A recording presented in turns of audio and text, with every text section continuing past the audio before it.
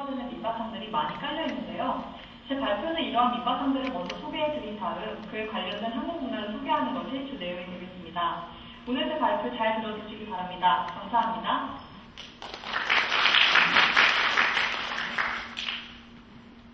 Ladies and gentlemen, good afternoon. My name is Tabin Lee, and I'm a student of Gyeonggi Girls High School. I think this is a good chance to be here to introduce Korean culture to all of you. First of all, when you think of Korean culture, what comes to your mind first? Maybe pansori, hanbok, and traditional palaces will come to your mind.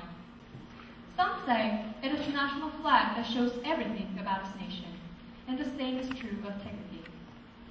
When you wonder about this country, Korea, and when you want to feel the breath of Korean culture and think about what this culture would tell us living in present day, just stand in front of Taegyeong. Then it will show you